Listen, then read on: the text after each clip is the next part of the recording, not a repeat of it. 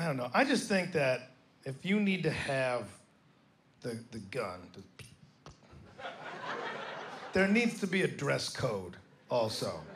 You can't just have the gun and then wear. You need this. The rest of this needs to match because not only do you have a weapon, you also have a very aggressive accessory now. All right? You have a centerpiece to your outfit. It's the focal point, and the rest of it needs to coordinate. All right? That's what I'm saying. It's, you ever see a woman out with a tiara, but no ball gown? Just like sweatpants? That's a crazy person. That's what crazy looks like. That's not someone making sensible decisions. No, that's a woman just yelling out, The Kremlin stole my babies! And everybody is like, I don't even need to be in this AutoZone right now. I don't even need.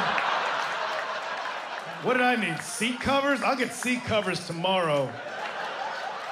I'm gonna let this weird homeless princess find her children.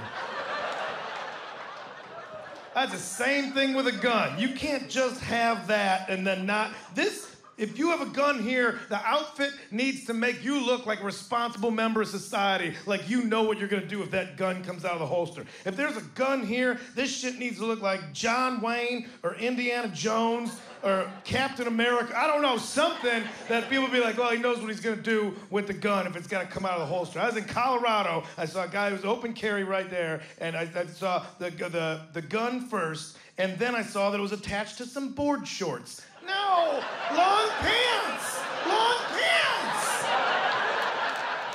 You have a weapon, long pants.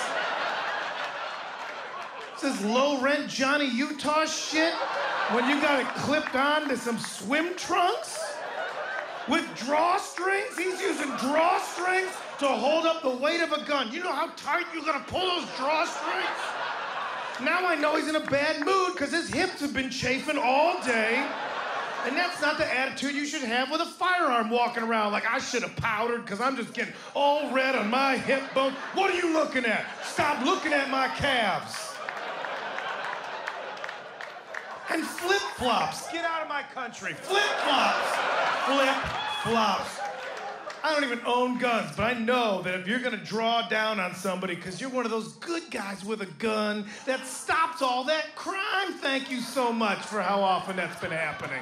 If you're one of those guys, if you wanna get, if you want good aim, closed-toed shoes. God damn it, closed toed shoes. Well, oh, you're gonna be, you're the one who's gonna stop a crime when you just, you just, un, you just, when you take it out of the holster and then you're just swishing around in your Tevas. Explain that to the cops when they get to the scene. Like, what happened here? Well, I saw the perpetrator run out of the bank with a duffel bag full of loose bills, so I deduced that he had robbed the bank. And then, fortunately, I'm a licensed open carry, and so I went in pursuit of the suspect. But what had happened kind of during that pursuit is I, I Jimmy Buffetted myself right on. I just straight up Margaritaville myself and blew out a flip flop. You know, Saul, parrot heads, right? All right, yeah. Anyway, yeah, I shanked it. I just, I shanked it. That one went off. That one went off into the playground over there. Fingers crossed. Fingers crossed. Right? I was trying to do the right thing.